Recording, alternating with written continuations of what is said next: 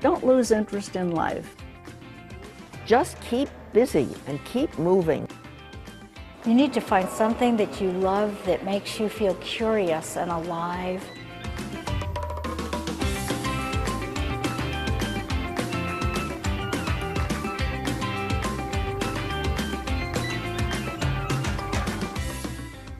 It's a number to me. I feel much younger.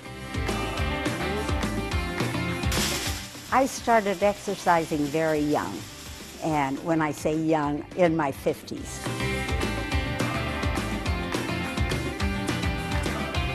I just think I can accomplish uh, wonders. I like to do things. I don't want to sit in the background.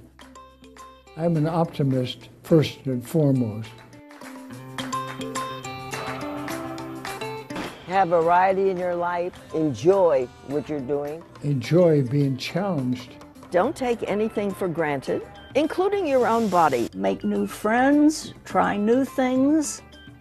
Live the life you love and love the life you lead. Just keep your mind open and be as argumentative as you want to be. Feel like I'm the last one standing.